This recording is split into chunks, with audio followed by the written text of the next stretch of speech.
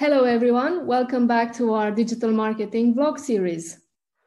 Hi, Ben. Good, good to be here, Di. Um, brushed off the old 2020 uh, um, vibe and moved into this new, fresh year, ready to smash it. And uh, Yeah. looking forward to, to talking with you today.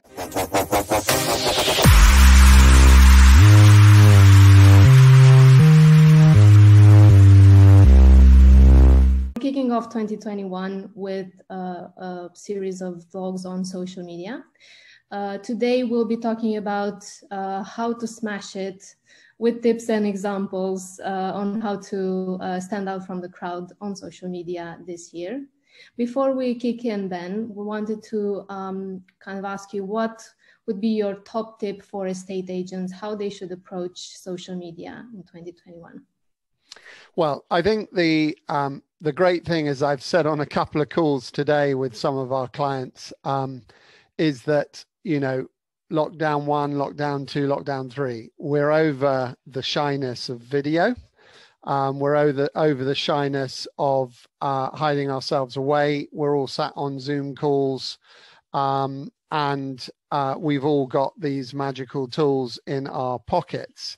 Um, and you know what what we're big believers in is you know you can work with a team like Starberry to help you with your strategy, make things look awesome, you know, do some of the hard work of syndicating and reporting and making the whole thing sort of uh, tied together across all your channels. But the biggest hurdle in the past has been getting great, timely content. Uh, you know, and social's all really about current, you know, it's all yesterday's chip paper and all those kind of things. Um, and so what we want to do is really help um, sort of actually get buy-in from the whole team, not just the marketing department, to make sure that they've got that weapon of choice, the, the phone, at their beck and call to jump on and start reporting, um, preferably in, in a combination of videos, selfies, live videos, um, and stills. And then if we can get that, or you as a, a as an agent out there can get that content together, lots of little bite sizes, then the show begins and your social channels come to life. Now, we prepared today a couple of uh, slides here uh, that really talk about how to how to stand out from the crowd uh, with your social media communication. And before we dive in, uh, there's a whole uh, piece on social media trends on our website. If you go to the Starberry website, just making the that shout out now. So um, there are a few things that will help you um, kind of smash it on social media this year. And um, we reckon we start with the elephant in the room. Our recommendation for estate agents, without being boring or stressing everyone out with the same topic, is to um, be timely and uh, with the reliable reliable content regarding their business in in the current context, how it changes, um, to build trust and uh, re- reassure customers. Yeah, I think that that's it. I think that it's a great channel to give updates. You know, it's it is there uh, not only just to promote property and and your instruction winning instructions, for example, which I know is is front of mind um, for agents, but it's also to to actually act as your publishing tool that is sort of you know instantly updating all your followers. So I think these examples you pulled out, Di, were just nice, clear examples to just reassure, give confidence to to the customer um, who's following you, or or people who are just merrily, you know, got one of the hashtags, in, you know, signed up to various hashtags. They see this and they think, oh, that's good. It's great that those guys have, you know, confirmed that they are open, but they are taking the the right measures and and that kind of thing, and being a bit thoughtful in the way they do it.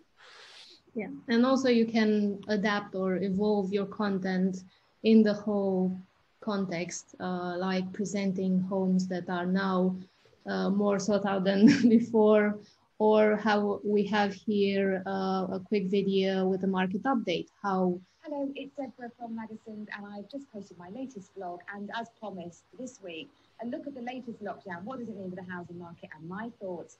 for the property market and the economy this year. Enjoy. So, So it's Deborah really is uh, she's a legend, really. You know, she's one Yeah. of the early adopters of video. She's been doing video just every week. In fact, the the whole social is is just brilliant. I think, um, and uh, definitely worth a follow to get inspiration. Um, but it's working for them, you know, and we're fortunate to work with these guys. They're in my local town, um, and uh, they are literally smashing it. So yeah, check that out. Yep. Moving on. Yeah. Uh, this is a really big one, and with the with all the insecurities that have been going on, uh, solidarity and showing support for the local community, for people in need, uh, has been crucial. And I think um, estate agents are really well placed to get involved in the community and show it, uh, and build um, build their brand around those. We have here um, two examples uh, from location location which are doing a lot of things um, for their community um, and this is um, a picture of them getting involved in their wi- winter toy appeal um, initiative Yeah, which I loved. I mean, these guys really do uh, embrace social in in a fantastic way. It's very thoughtful. It's very natural. It's nothing is forced. They actually do this stuff, and I think that's half the thing. Is actually committing to it, not because you want to win a valuation, but because you actually care and are a values-led business that really do care about your community, and it's absolutely clear here. You know, I love their stories. They have fun with them. Um, but you know what a great thing to do this this winter toy uh, toy appeal, um, and they do a lot more with you know soup kitchens and all sorts.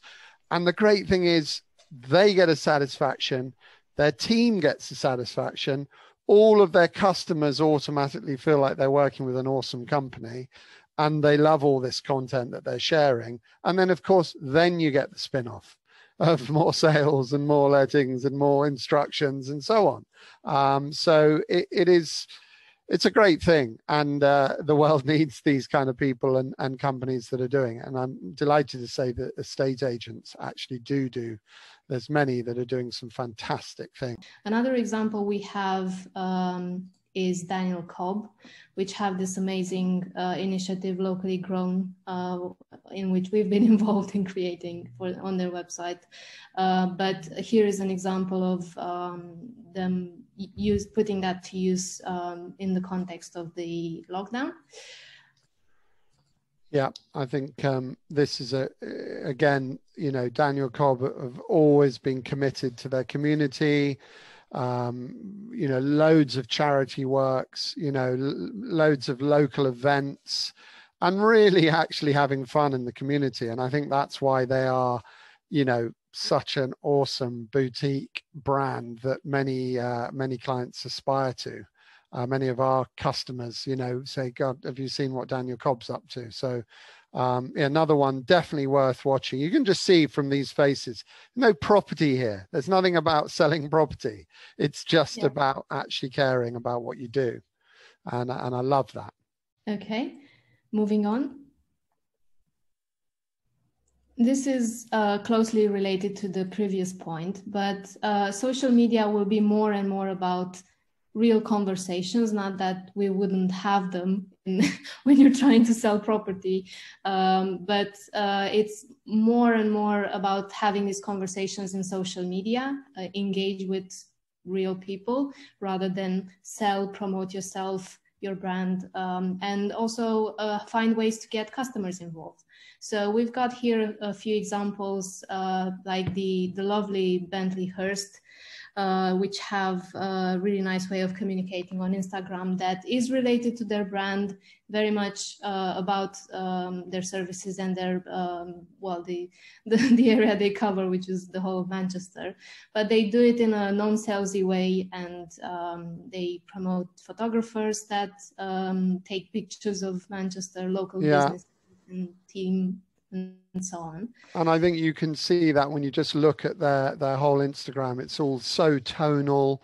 you know their, their colors are the blues and reds and whites and everything has just got this sort of um, thoughtful uh, you know uh, style to it um, and uh, you know i think that's ultimately you got to you got to find what your style is you got to find uh, what your position is and then stay true to it so I now start seeing some of their work coming through, and I just immediately recognize the brand and and the sorts of things they're doing. But they are actually uh, promoting a combination of property services, you know, zero percent for a launch period when they launched in the area. But um, you know, it, you can see that they are properly committed and and they love their area as well. Uh, Manchester currently they're expanding. Um, but yeah, that's a nice one. Two other great examples. Um, obviously, uh, one that comes to mind is testimonials, uh, but uh, and th that's user generated content that um, all estate agents really use. But you can also make them a bit more fun and engage, uh, engaging on social media. So we've got here an example of a video testimonial for Crux Careers. Megan contacted me a few weeks ago after coming across my CV online. Um, before um, I worked alongside Megan, I was applying for loads and loads of jobs with no success. One when Megan contacted me. Um, I think the the point of this is that it's a real person. Um, you can see it's she's engaging in her own right. Um, she's just been asked either through VideoAsk, which is a tool that we like to use, makes it very easy, or just someone sent her a WhatsApp saying, "Hey, would you mind just giving us a one minute or 30 second piece on you know the results we got for you? She's a happy customer. She got a new job. And crux careers helped find her that job. And so it's just once you've got that bit of content it's like gold again. It's engaging. Um, obviously the one above there we love. Um, you know this has uh, just been a fantastic campaign. Russ and i love our hats if you don't already know it um, so every one of our clients and our uh, supplier partners uh, got one. And we wanted to do a campaign for Agents Giving, where everyone who sent a selfie, there was a fiver that went towards Agents Giving. It's been absolutely so much fun. We've really enjoyed it. We wanted to do it for fun first. Um, it happens to have raised, you know, a good sum of money too. So it's sort of win-win for everyone. It also shows humor, uh, shows character, and yeah so you know that's another great example of getting some some good conversations that people can engage in and, and join in in. And then i think it's it's important to point out that you can still be uh, showing your expertise but put a twist on it. So social media doesn't always have to be professionally presented uh, or um, you know boring uh, you can have fun with your content find new ways of presenting the same old properties or people or uh, you know the assets you've got uh, or the services you're promoting uh, your knowledge know-how of the area and so on. So um, and there are always uh, so many formats coming up on social media all day long um, which uh, you should test and take advantage of.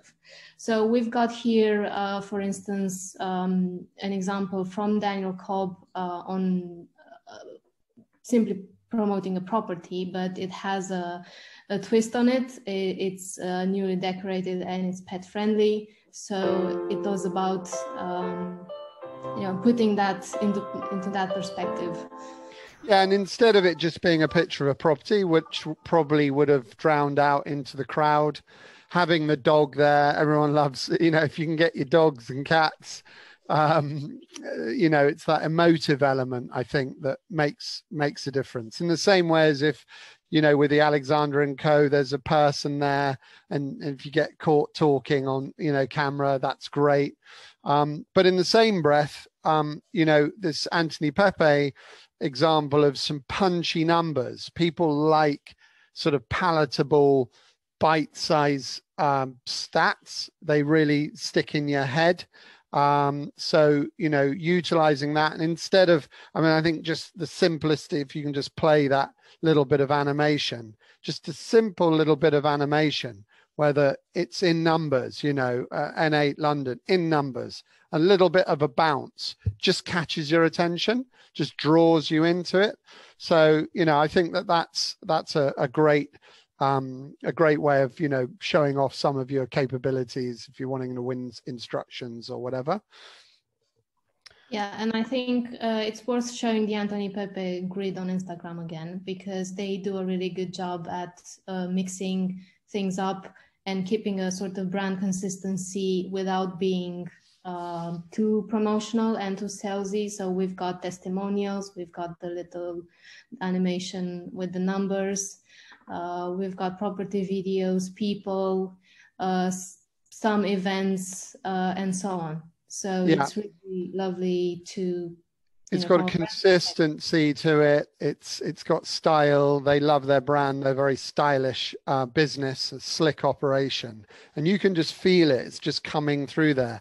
It's not made up of a hodgepodge of, you know, clip art and stock photos and you know i'm almost banned myself from saying keys handshakes and lego houses but there's one for 2021 don't use them people all right. Um, I think that's pretty much it. So to wrap things up, um, there's there's a lot uh, you can be doing on social media, but the key message here would be to keep it real, um, keep it fun, and try to engage with people in you know real conversations. Yeah, and I would say just think out of the box. You know, think about what you can do and that you do and your team do that's engaging that can show your character can demonstrate you know the the way the brand operates.